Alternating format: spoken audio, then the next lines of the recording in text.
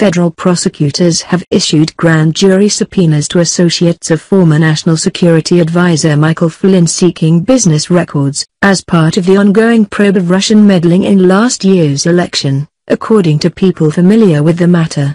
CNN learned of the subpoenas hours before President Donald Trump fired FBI Director James Comey.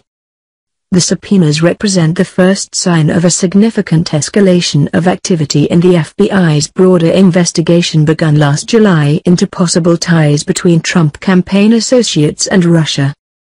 The subpoenas issued in recent weeks by the U.S. Attorney's Office in Alexandria, Virginia, were received by associates who worked with Flynn on contracts after he was forced out as director of the Defense Intelligence Agency in 2014, according to the people familiar with the investigation. Robert Kelner, an attorney for Flynn, declined to comment. The U.S. Attorney's Office in Alexandria, the Justice Department and the FBI also declined to comment. Investigators have been looking into possible wrongdoing in how Flynn handled disclosures about payments from clients tied to foreign governments including Russia and Turkey, U.S. officials briefed on the matter have told CNN. The Flynn inquiry is one piece of the broader investigation, which FBI Director James Comey testified in a Senate hearing last week is led jointly by the Alexandria U.S. Attorney's Office and the Justice Department's National Security Division. Flynn was forced to resign as Trump's national security advisor in February after failing to disclose the nature of phone discussions with Russia's ambassador in Washington, Sergei Kislyak. Congressional investigators have also accused Flynn of possibly breaking the law by not properly disclosing a $45,000 payment for an appearance he made at an event in Moscow to celebrate Russia Today. The Russian government-funded news outlet that U.S. intelligence agencies say played a key role in disseminating stolen emails intended to damage the candidacy of Hillary Clinton in the 2016 presidential election. Flynn's lawyer, Robert Kelner, has said that Flynn was not hiding anything, noting that he briefed the DIA on his trip to Russia. As has previously been reported, General Flynn briefed the Defense Intelligence Agency, a component agency of DoD, extensively regarding the RT speaking event trip both before and after the trip, and he answered any questions that were posed by DIA concerning the trip during those briefings, Kelner said in a statement. In March, Flynn's lobbying firm registered as a foreign agent for the Turkish government, under a $500,000 contract. Flynn, a retired Army Lieutenant General, emerged in 2015 as a strident critic of the Obama administration, which fired him. He built a close relationship last year with then-candidate Trump and became a frequent Trump campaign surrogate before assuming a brief tenure as National Security Advisor. U.S. Attorney Dana Boente, whose office issued the subpoenas, is also leading the investigation into WikiLeaks and the effort to bring possible charges against the group's founder, Julian Assange. Boente is also acting as head of the Justice Department's National Security Section. The FBI interviewed Flynn about the December calls with Kislyak and determined that he wasn't intentionally trying to be deceptive about the nature of what was discussed according to U.S. officials briefed on the investigation. But investigators have been investigating Flynn's business ties after he left the government and before he joined the Trump administration. A lawyer for Flynn declined to comment on the story, as did the Justice Department and the FBI, according to CNN. Flynn has been at the center of speculation by Democrats and Trump detractors since he admitted lying to Vice President Mike Pence about his meeting with a Russian ambassador before the election. Trump fired him, but blamed the media for the leaks that exposed his mischaracterization to Pence.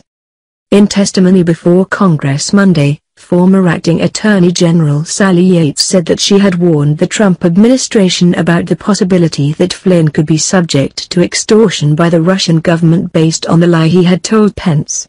She was soon fired, and Flynn resigned only after the lie became public. Flynn was later accused of breaking the law over payments he received from Russia and Turkey. House Oversight Committee Chairman Jason Chaffetz, Republican Utah, explained the charges in a statement before reporters in April. Personally I see no information or no data to support the notion that General Flynn complied with the law, Chaffetz said. And that is he was supposed to seek permission and receive permission from both the Secretary of State and the Secretary of the Army prior to traveling to Russia to not only accept that payment, but to engage in that activity. I see no evidence that he actually did that. Associates of former National Security Advisor Michael Flynn have received grand jury subpoenas from the Office of U.S. Attorney Dana Boente.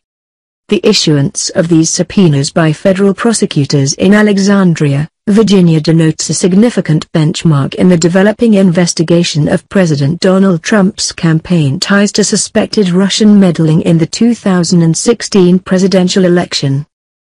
The subpoenas seek business records from individuals who had worked with General Flynn on contracts after he was let go as director of the Defense Intelligence Agency in 2014, as reported by CNN on Tuesday. The development comes the same day that Trump fired FBI Director James Comey, in a move that surprised government officials on both sides of the aisle. Trump's letter of termination to Comey was vague in stating the official reasons for his firing, and included a misleading statement, given the FBI's ongoing investigation into his campaign's involvement with election interference by Russia. While I greatly appreciate you informing me, on three separate occasions, that I am not under investigation, I nevertheless concur with the judgment of the Department of Justice that you are not able to effectively lead the Bureau, Trump wrote.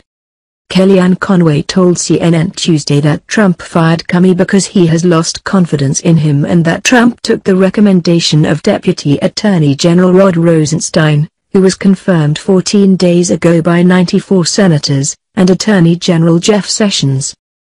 The FBI began an investigation in July into possible ties between Trump campaign associates and Russia during the 2016 presidential campaign.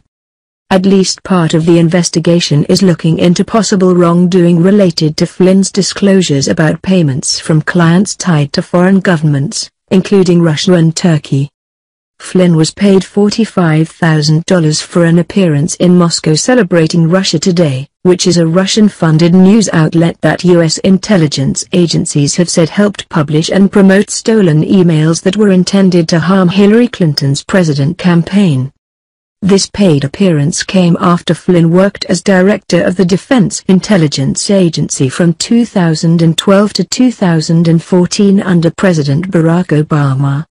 Flynn, who was a top advisor and high-profile surrogate for Trump throughout his campaign, was offered the role of National Security Advisor on November 18, 2016, just 10 days after Trump was elected president. The White House was warned by former acting Attorney General Sally Yates that Flynn could be essentially blackmailed by the Russians, according to her testimony before a Senate Judiciary Committee on Monday. Yates testified that she told White House counsel Donald McGahn that she had information that statements by Vice President Mike Pence, made in reliance on his conversations with Flynn, were false, in a meeting that took place on January 26.